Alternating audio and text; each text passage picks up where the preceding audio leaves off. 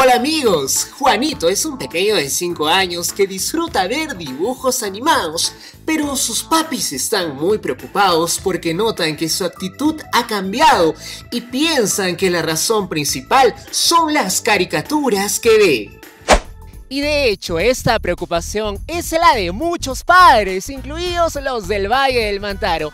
Y por ello, en compañía de nuestro especialista, resolveremos todas estas dudas con respecto a este tema. Bienvenida para Aguanca, psicóloga. Estoy muy feliz de poderlos acompañar este día. Cuéntenos, ¿podemos considerar que los dibujos animados tienen una relación directa con el desarrollo actitudinal y emocional de los pequeños de la casa? Pues es una pregunta muy interesante porque para responderla tendríamos que saber que nuestros niños pertenecen a la generación que son los centennial, que esta generación está constituida porque son nativos digitales y están muy acostumbrados a visualizar todo tipo de audiovisuales, ¿no? Están muy conectados con los equipos como la tablet, el celular. Los niños copian, copian lo que miran, ¿no? Entonces, todo lo que miran, todo lo que hace que tengan un proceso de identificación es copiado y afirmativamente los niños y los dibujos o las cosas que ven influyen en su día a día. ¿Sabías que la violencia en las caricaturas es una de las primeras preocupaciones en los padres? Pero estudios también revelan que esos mismos dibujos en ocasiones despiertan la creatividad y la imaginación de los niños. Especialista, díganos qué tipo de contenido en los dibujos animados puede perjudicar el desarrollo de nuestro pequeño y darle un mal concepto de la realidad. Bueno, los que tienen un contenido de tipo sexual, religioso, de tipo violento, ¿no?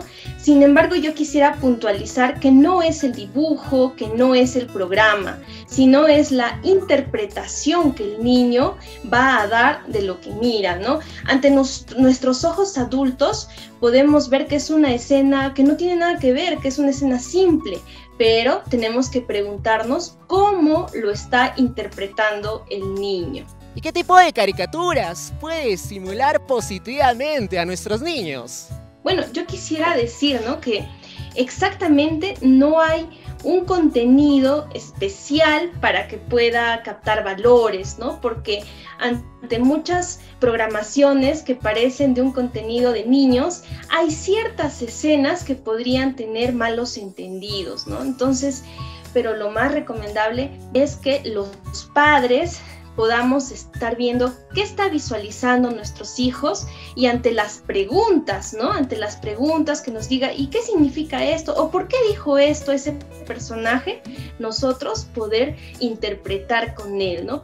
Interesantes comentarios, especialista, pero nuestros papis de Parahuanca nos escribieron con inquietudes que quieren que usted las resuelva. Por favor, iniciemos nuestro segmento Consultorio en Casa. Carla nos escribe de San Carlos, nos cuenta, psicóloga, mi hijo es fanático de los dibujos con contenido de peleas y acción y he notado que se ha vuelto muy brusco con su hermanita al jugar, tratando de imitar estas escenas. ¿Qué puedo hacer? Bueno, yo quisiera agradecer a Carla por su pregunta.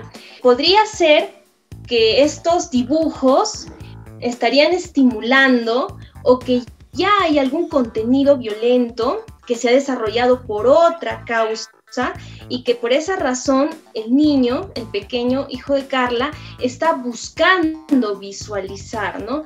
Es por esa razón que no me atrevería a darle una recomendación en sí, sino quizás que pueda buscar a su especialista de preferencia y pueda comentarle para que pueda hacer un análisis más profundo de ese caso. Ricardo desde el Tambo nos comenta, especialista, estoy tratando de darle los mejores ejemplos y referencias a mi hijo para su buen desarrollo y con respecto a este tema, ¿le debería prohibir a mi hijo ver dibujos animados completamente? Muchas gracias por la pregunta. Entonces no es prohibir, sino estar al tanto, al tanto de qué dibujos está viendo Em, existen algunos aplicativos que podemos utilizar para poder seleccionar qué tipo de dibujos va a ver, ¿no? A veces pasa que nosotros, los padres, dejamos a nuestros hijos con la tablet o con el celular, los dejamos con el YouTube, por ejemplo, entonces puede saltar de video a video y llevar a cosas que no debería un niño, ¿no? Entonces, en esa situación sí deberíamos tener mucho cuidado. Por último, Ana desde Chilca nos dice, mi pequeña ha empezado a presentar problemas de concentración en el colegio. Cabe resaltar que pasa varias horas en la televisión viendo caricaturas. ¿Puede ser esta la causa?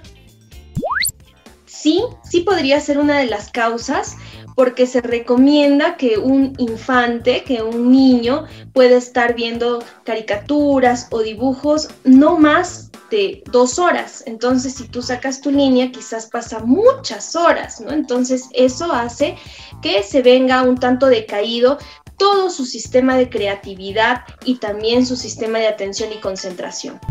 Gracias por esclarecernos el panorama, psicóloga, pero ahora, ¿qué mensaje finales podría dar a los padres con respecto a ese tema? Quisiera referirme que muy aparte de todo lo que tenemos que hacer, tenemos que dedicar un tiempo a los juegos, a los juegos que son netamente de mirada con mirada, de tú con tú, poder hacer títeres, poder hacer teatro con nuestros pequeños, ¿no? Dedicarnos un tiempo y así minimizar un tanto el uso de la tecnología y el estar viendo dibujos o estar viendo películas constantemente. Bueno, yo quiero agradecer a Parada Huanca por este espacio, por poder hablar de este tema. A ti, Jeff, muchas gracias. Nos volveremos a ver pronto. Juanito seguirá viendo caricaturas en compañía de sus padres para que lo guíen y lo ayuden a estimular una actitud crítica de lo que observa y así podrá identificar cuando una escena es negativa o positiva en los dibujos que ve. Ya lo saben papis, mucha atención con los pequeños de la casa. Nos vemos en nuestra próxima parada.